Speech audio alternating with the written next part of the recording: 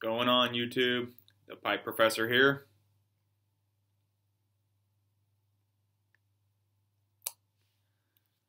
Coming at you today to answer Jay's 2018 10 questions.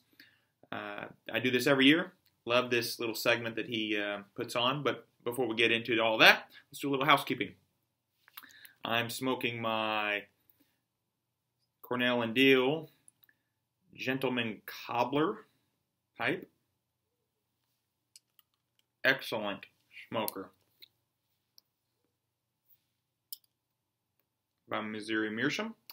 And in it, I'm smoking some Robert McConnell Scottish Flake. Haven't made up my mind about this blend yet. It's good, no doubt. It's very good. But is it worth a spot on the top five top top five pipe tobaccos this year? Hmm. We'll see. Anyway, Jay's 10 questions. Uh, if you don't participate, Jay is well known across YouTube and the pipe community. Dig HSX is his handle on YouTube. Got a big beard. Bald as Mr. Clean on top. Go check him out.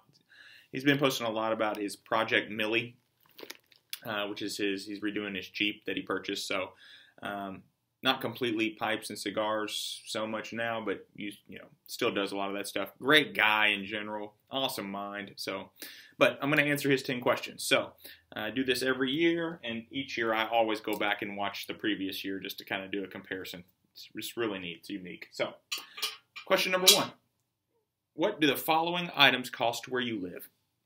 One gallon of milk. A gallon of milk milk's $1.99, $2 for a gallon. A gallon of gas, uh, I filled up today at 240 a gallon, which when I went back to 2016's video and watched it was only a buck, buck 40. So it's gas is a lot higher two years now today than it was two years ago.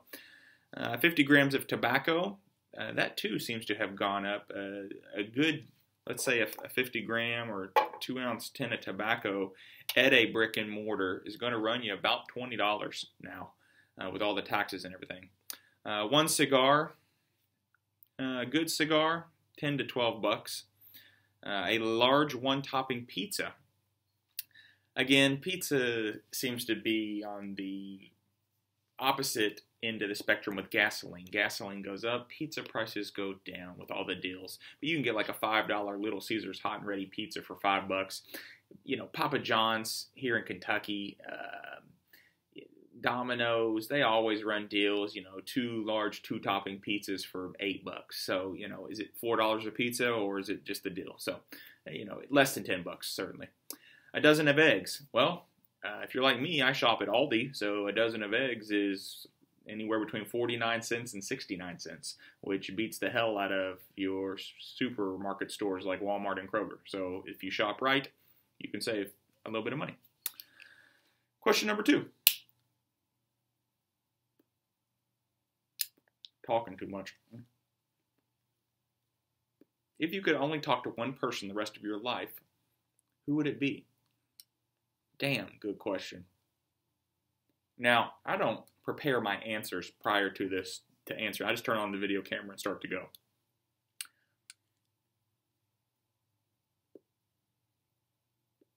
You know, I, everyone wants to, you know, the natural a response would be, well, it'd be my spouse or my wife, but sometimes I don't want to talk to her now. Um, love you, sweetie. You're watching this. She's not. Um,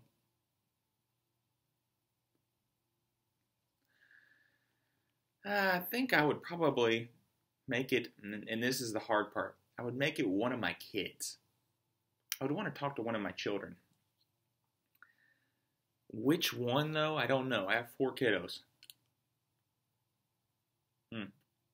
I mean, if I have to go off of their age right now, it would be the oldest, my oldest kiddo, because obviously he can carry on a conversation, understand, respond, communicate.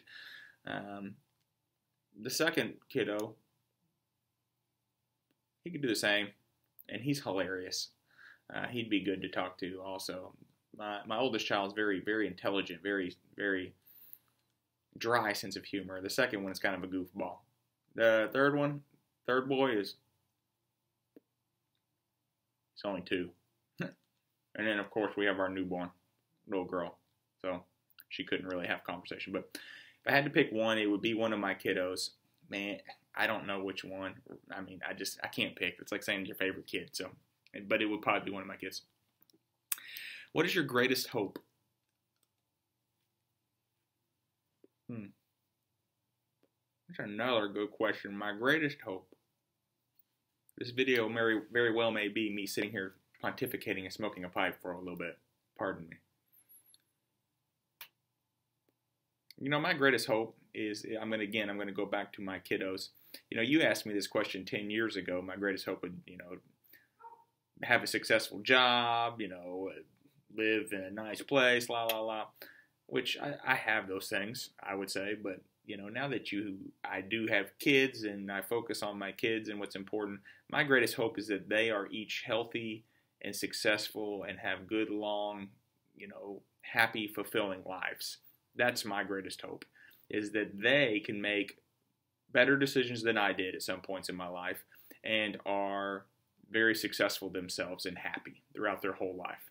Uh, that they don't have to put up with hardships, um, you know, Granted, our hardships are first world problems, right? But um, that they can just, you know, they have an easy, not an easy life, but um, don't have to overcome some complications that, that I've had to overcome and that a lot of people have to overcome on a daily basis. So that, that would be my greatest hope. And I probably should have said something like world peace, but I'm going to be selfish, so sorry. Uh, what time do you normally eat dinner? Well, I'm on the Eastern time zone. We typically eat between uh, 5:30 p.m. and 7:30 p.m. So in that two-hour window, and really what it has to do with is a uh, what we're what we're cooking, what we're preparing, and yes, uh, we as a family still have that the tradition of we all sit down at the table together for dinner each night. Uh, we don't eat a lot of fast food. We don't eat out a lot. We cook our own meals. Uh, we you know have a garden where we grow our own food, a lot of our own food which you know a lot of you may do the same thing, but that is becoming less and less typical uh, nowadays. So. Um, but we do every night. We we sit down at the dinner table and have dinner as a family. So depending on what we're eating, what's going on, if you know something's going on at, at school, or I have a late lecture, or you know my wife's working over something, it could push dinner back. But we always try to eat between 5:30 and really 7 o'clock at night. What's one thing you wish you were better at? Smoking and talking. No, I'm just kidding. Mm. This is no secret. If you've ever watched my videos, uh, I think I've already I've even talked about this before.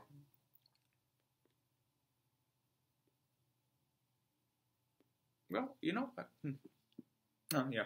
I wish I was better at uh, using tools, being able to build things, use my hands. Um, so, for example, Jay's working on his car Millie right now.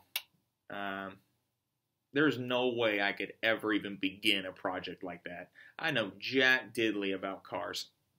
Um, although I will say I have been getting better. I, I changed out my garage door motor, and I know some of you are going to be like, "Oh, whoopee, skippy," but that was a big deal for me. Um, this past year, I built a gaming table that is eight foot by three and a half foot. Um, so I was kind of proud of that. Built the legs, built it from scratch, everything. So that's getting better. I'm getting a little better. So I was, wish I was better at using tools, building things, mechanics, things of that nature. But I can read and write like a champ. Oh boy. World comes to an end. Not the guy you want. What did you worry about today? Question number six.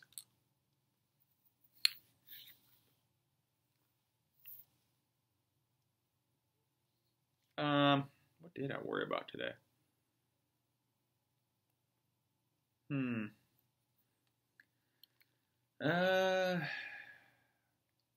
I, well, there's two things I worried about today. First off is my my second kiddo. He has asthma really really bad, uh, which is one of the main reasons I I could choose a designated spot in our house and actually probably smoke inside. And when my wife and I first got married, I did smoke inside. I smoked cigars and pipes inside the house. When we had our first kid, um, our house really wasn't big enough and it was brand new. We didn't I didn't smoke smell. Um, but the main reason I really smoke outside or outdoors, which um, one day I'll show you guys this this area. This is an enclosed outdoor porch that I that I, most of my videos are filmed on or at. So I really don't put out put up with the elements. So it's technically like I'm inside. Um, so because it could storm, rain, whatever. It is not aired or cooled out here. So I have to do that myself. In the summertime, I just open up all the windows and it's beautiful. Uh, in the winter, I have a little radiator heater, which there's one right here because hell, it was 70 yesterday here in Kentucky, and now they're calling I think 10 inches of snow tomorrow. So, um, but I worry about his asthma, um, and he's been having some flare-ups, and I don't know if it's just because of the the um, turning of the season, uh, stuff's blooming out and things, and so I'm worried about worry about that today. We'll just we'll just leave it at that. I don't want this video to be too long, but that's what I worried about today. Do you, do you think you have a text message? Well, damn. Um, sorry. Do you think there's life on other planets? Uh, you know, I'm sure there's some kind of micro organism on other planets and cell that has cells and whatever not. And sure why not? You know i, I don't know. I, I, I am i'm a believer in god and you know the Bible doesn't reference any kind of life on other planets or anything like that. Uh, not to mean that it, not to mean that it can't happen or it hasn't happened. There you go. Uh, but um, I, when you say life, like humans walking, talking, interacting, no, I don't think so. Uh, people will say, "Well, it's such a vast universe." Sure, it is, you know, but um, I just don't think we are human beings and on Earth by chance. I just don't think this is all just one and a 500 gazillion chance at all. I don't know. I just have trouble believing that. And other people will argue that I have trouble believing that some man lives up in the clouds, right? So, uh, or whatever your prerogative may be. To each his own. Uh, you're not wrong. I'm not wrong. We just, you know, can believe different things. So, um, no, I don't. I, maybe there's microorganisms on other planets, sure, but actual life like we are or know it, no, Nah. Question number eight Would you rather go for a ride in a supersonic car or a supersonic plane? Um, I would say I don't like flying. Uh, so I would say car. And I'm going to say car, even though it's probably more dangerous in a car. But I'm going to actually piggyback off your answer, Jay. Uh, I think you can feel, you would be able to feel how fast that really is in a car. Versus in a plane, I mean, if you've ever flown anywhere, which if you haven't, get with the program. Um, but you know, then you move it like you know what 800 mile an hour, 1,000 mile an hour, 500 mile an hour. You feels like you're going 30. You know what I mean? So I don't think you'd be able to get the full effect in a plane, whereas you would in a car. So uh, I'm going to go supersonic car on this one. Question nine: Would you erase half of your memories for a million dollars? Side note: They will be erased randomly. Now I have a sure answer for this. Hundred million dollars? No. Uh, no, I would not want to erase half of my memories. In fact, uh, I don't think there's any amount of money, and I know that sounds ludicrous, but there's no amount of money um, that I would take from my mind. I had this conversation with other people, um, and I've, with with my wife and buddies before. I really, really hope as I age and when I get older that, you know, some people, their body goes first. They lose physical capability of their body and what they can control and can't control. Some people lose, you know, their mind with Alzheimer's and, um, you know, dementia, things like that. If I have to choose, I really hope my body goes before my mind. I never want to lose my mind. I think that would just be one of the worst things ever. Um, I've seen people, my wife's grandmother, suffer from Alzheimer's. and it's one of the saddest things that you can ever see and experience. Just to sit in a room with people and not not know who any of them are, and they're your closest family members. They're the people that, that, that care for you and that have loved you for years and years and years, and you're just lost and confused and, and scared. No way. Uh, couldn't pay me enough money to take my mind. So uh, I really hope I get to keep my mind uh, my entire life, and I would much rather have it than, than physical capabilities. All right. Question 10. In the last year, what was your best day? In the last year. Now, so there's two ways to look at that. From this calendar date, like April the what is this, the 5th, April the 5th to April the 5th, is that the calendar year or January 1 you know, to January 1. Either or, it's, you know, relative. Um, but for me, it's easy. Uh, as I said in a previous video, we welcomed our fourth kiddo in February of this past year. Um, and it is our first daughter. So I have three little boys and now finally a little girl. So without a doubt, 100% welcoming um, that little sweet pea into the world uh, our first daughter, was the best day uh, of the of the past year, easily, easily. Uh, nine months of pregnancy is not always enjoyable or fun, but that day is well worth it. And right now, we are really enjoying it. She's cute as could be. So, um, all right, awesome. Jay, thanks again for putting this on. Uh, go check Jay out his channel. He does have a Patreon too. Um, if you got a couple extra bucks and you want to throw his way, I, I, you, I know that it's appreciated and he would appreciate it. And uh, he's just an all around good guy. Jay, if you're ever in Kentucky, uh, in the Lexington area of Kentucky, um, shoot me a message if you know you're going to be around. Um, I will gladly welcome you over, cook you one of those nice home cooked meals. We could drink some good bourbon, enjoy some pipes and cigars. So, uh, all right, that's going to do it. Hope everyone's doing well. Golly, 17 minutes. Sorry, guys. But uh, until next time, see you on down the road. Take care. Cheers.